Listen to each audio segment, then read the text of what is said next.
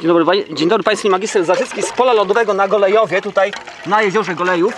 Ja się zanurzam w wodzie, tu sobie już wyrąbałem przerębel taką malutką, ale powiększę sobie ją jeszcze, żeby z Państwem porozmawiać na poważnie, o przy takich poważnych, przez taką poważną zasłonę medialną. Nie no, proszę Państwa. Na szczęście to nie jest szkło, także potupem nie szkło.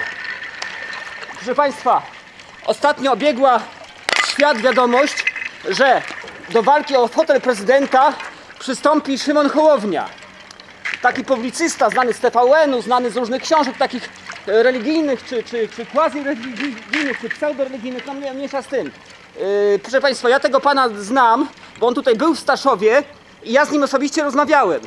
Nawet nagrałem jego spotkanie, które odbyło się w Domu Kultury i proszę Państwa, powiem Państwu taką rzecz, że ja na prezydenta będę głosował oczywiście na kandydata konfeder- Konfederacji. Mam nadzieję, że to będzie pan Janusz Korwin-Mikke. Gdyby to nie był on, bo są prawybory, no, no to będę głosował na, na, na kogoś innego z tych kandydatów Konfederacji. Ale jeżeli państwo z jakichś powodów, no moim zdaniem niezrozumiałych, niemądrych, nie będą głosowali na kandydata Konfederacji, to radzę państwu głosować na pana kogo? Szymona Hołownię. Dlaczego, proszę państwa? Ja nie twierdzę, że to jest człowiek mądry, że to jest człowiek nadający się na prezydenta, że to jest człowiek y, genialny, że to jest człowiek y, jakiś bardzo odważny, czy, czy coś takiego. Powiem tylko jedno, a to już jest wystarczające moim zdaniem, jeżeli ktoś nie, nie będzie głosował na kandydata, który jest mądry, odważny i, i tak dalej, czyli na kandydata Konfederacji. Otóż, proszę Państwa, to jest niewątpliwie człowiek uczciwy. Dlatego, że pan Szymon Hołownia był w Staszowie i ja o coś go prosiłem. I on, I on powiedział mi prawdę, jako, jako jed- jedna z niewielu osób, znaczy jedyna w zasadzie, jako jedyna osoba z takich y, medialnych osób, kto, o, która o coś prosiłem, on powiedział mi prawdę. Nie oszukał mnie. Proszę Państwa, ja sobie zrobię troszkę więcej tutaj przestrzeni, czyli jeszcze troszkę połamy.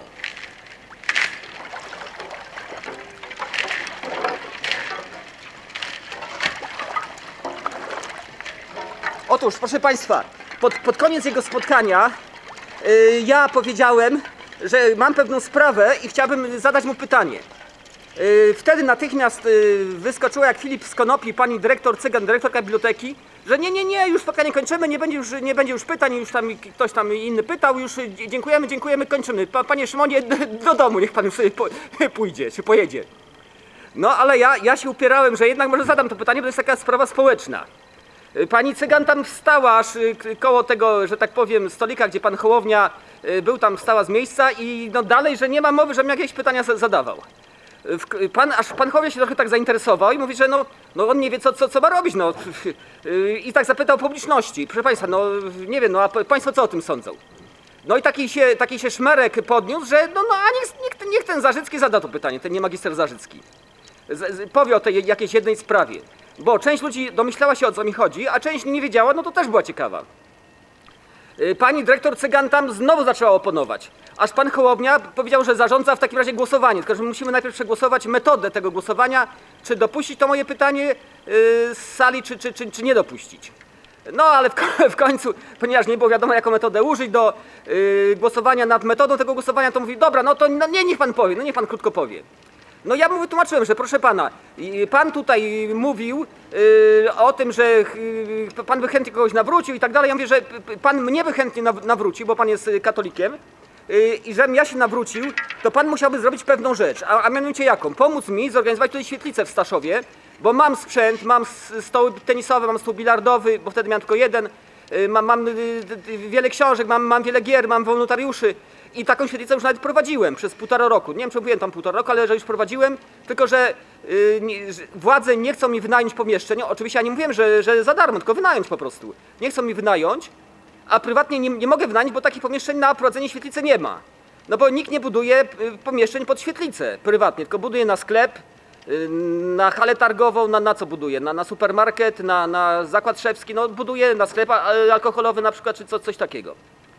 Y, No i a takie pomieszczenia na świetlicę to mają y, ma ksiądz proboszcz, bo stara plebania, y, pod nową plebanią też by się zrobiło, obok plebanii też by się zrobiło. Ma, mają, ma każda szkoła prawie z wyjątkiem jednej, a tych szkół tutaj jest kilka, każda, każda ma takie pomieszczenia odpowiednie na to. Jest stara policja, nie, wtedy to nie wiem czy, czy stała pusto, to, to chy- chyba jeszcze nie, bo to było kilka lat temu. No w każdym razie jest dużo pomieszczeń takich gminnych, powiatowych, no wi- wiadomo, pomieszczeń zarządzanych przez władzę staszowską. Władzę albo, albo księdza proboszcza. No i żeby mi w tym po pomógł. A jak pomógł, no po prostu no, narobi trochę szumu w mediach. No jakiś tam artykuł napisał, czy, czy jakiś wywiad zrobił ze mną, czy, czy sam coś, coś tam powiedział. Wystarczy, albo jakiś telefon wykonał. Taka ważna osoba, taki celebryta, to, to może wszystko po, po prostu. No pani Cygan tam, proszę Państwa, no siedziała jak na gwoździach, tam no bez przerwy tam widać było, że, bo ja tam kamerką trochę ruszyłem w jej kierunku, no że no przeżywała straszne męki, no. Jak piekarski na mękach się, się męczyła, no mało ze skóry nie, nie, nie, nie, nie, nie wy- nie wyszła, nie wylazła, jak to się mówi, żeby, żeby, y, żeby ja tego o, o tym wszystkim nie, nie, nie powiedział, bo ona się domyślała, co ja powiem, bo ja już to, ja to mówiłem zawsze, jak był jakiś celebryta, jakiś pisarz czy coś tam, to ja zawsze o tym, o tym wspominałem. Jakiś polityk, jakiś y, poseł, asystent posła, dziennikarz, pisarz, yy, to ja o, o tym zawsze gadałem przez, przez wiele lat, bo, bo, no bo mi na tej sprawie zależało i zależy dalej. Yy, No i proszę Państwa, i tutaj przejdźmy do, do, do Pana Hołowni. I Pan Hołownia po, po, powiedział wtedy bardzo prosto i bardzo szczerze. "Yy, Proszę Pana, ja tej sprawy nie znam. Ja mówię, no to ale ja Panu to wytłumaczę, no nie ma problemu. Nie, nie, nie, proszę Pana, niech Pan mnie nie tłumaczy, bo nie ma potrzeby. Ja Panu po prostu nie pomogę w tej sprawie. No nie pomogę i, i koniec. Bo to nie jest mój temat, ja... No wtedy nie mówił, że zajmuje się Afryką, ale, ale przedtem, wcześniej mówił, że tam w Afryce pomaga i tak dalej, no więc nie będę, nie będę się rozdrabiał, prawda, na, na, na Polskę, skoro pomaga w Afryce, tam dzieciom w, w Afryce. A, a po drugie, no powiedział w ten sposób, proszę pana, no, no co z tego, że ja panu pomogę? No co z tego, że ja zmuszę tam proboszcza czy, czy burmistrza, żeby panu coś tam dał? Ja wyjadę, sprawa ucichnie i panu i, te, i tak to i tak panu wywalą, i tak panu to, to zabiorą te pomieszczenia i, i koniec. I mówi tak, proszę pana, ja panu coś powiem, jak ktoś chce jakąś sprawę sobie załatwić, to najlepiej jak sobie załatwi ją sam, proszę pana. no i to była dobra rada. I powiedziałem jeszcze w ten sposób, że a niech pan takiej rady e- ewangelicznej posłucha, że tam, gdzie pana nie chcą, nie, nie, chcą, żeby coś zrobić, to niech pan strzepnie y, pył z, z butów i, i po prostu idzie gdzie indziej, do jakiejś siostry Chmielewskiej czy, czy, czy, czy gdzieś tam. No i proszę Państwa, no i ta rada okazała się znakomita. Dlatego, że bardzo uczciwa, szczera, bo pan Hołownia dotrzymał słowa. Nic nie pomógł w tej sprawie. Natomiast wszyscy inni, którzy mi obiecywali, posłowie z PO i z PiSu i z innych par- z partii i, różni pisarze i tam nawet dziennikarz pan, pan Zie- Ziemkiewicz mi też obiecywał. Ci ludzie nie kiwnęli palcem. Pan Hołownia też nie. Ale on to zapowiedział przynajmniej. On był uczciwy, proszę Państwa. Y, Tą, tą dyskusję między mną, panią Hołownią i dyskusję, którą natychmiast zakończyła pani, pani dyrektor Cygan, bo jak pan Hołownia tylko tak wziął oddech w pewnym momencie, bo on tak mówił, mówił, on ma, jest bardzo płynny w mówieniu, więc tak mówił, mówił, mówił tak bardzo, bardzo płynnie, ale w pewnym momencie musiał wziąć oddech. To pani Cygan wyskoczyła z kwiatami, podziękowała mu za spotkanie, no i, i pan Hołownia sobie pamiętał, że już musi, musi jechać do domu, no bo, no bo jak dostał kwiaty, to przecież nie, nie będzie gadał, jak już dostał kwiaty, prawda? No więc y, tak, tak to się skończyło y, z, z panem Hołownią. Y, Natomiast z panią Cygan to się nie skończyło, bo jak mi wywalili te, te bilardy, jak, jak mam teraz sprawę w sądzie, to pani Cygan jest świadkiem, świadkiem strony oskarżenia. No i tam w, w ramach tego os- oskarżania mnie powiedziała, że od strony zachodniej y, czytelnicy nie mogli dojść do biblioteki, bo musieli chodzić po, po trawniku od strony zachodniej, Staszowa, co no, moim zdaniem no, nie jest do końca prawdą, znaczy w ogóle moim zdaniem nie jest prawdą, no ale to mniejsza z tym, oraz że y, PGKiN y, wywiozło bilardy i śmieci. No w zasadzie tam bardziej chodziło o śmieci, no bo ja jestem oskarżony nie, nie o postawienie bilardów, tylko o zaśmiecanie rynku. Zaśmie- y, mam cztery zarzuty. Zaśmiecanie rynku, wieszanie ogłoszeń o treści, nie dzwonić, stuknąć ci w piątą klepkę, no bo tam na, jak mieszkałem w Beczce, to ta beczka nie była niezelektryfikowana. Y, Tam był podpis piąta klepka na piątej klepce w tej beczce, gdzie, gdzie trzeba było pukać. Y, Co, co tam jeszcze? Ch- Chatka nie magistra, taki był straszliwy napis na, na tej beczce, bo ja tam mieszkałem w tej chatce nie magistra, czyli w beczce. Y, Co, co, tam, co tam jeszcze było? No, były, był, był też napis czynno od 10 do 18, który powiesiła restauracja sobie, ale no to też jest, ja, ja za to będę ukarany. No, no i proszę Państwa, no i tak dalej, i, i tak dalej. Więc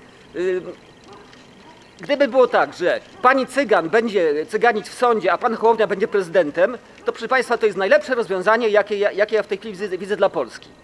A w tym momencie ja sobie jeszcze troszkę się poruszam, jak się tak y, stoi bez ruchu w zimnej wodzie, to, to nie jest to może zbyt przyjemne, więc się troszkę poruszam i potem sobie jeszcze popływam, ponurkuję, ale z Państwem się za chwilkę rozłączę.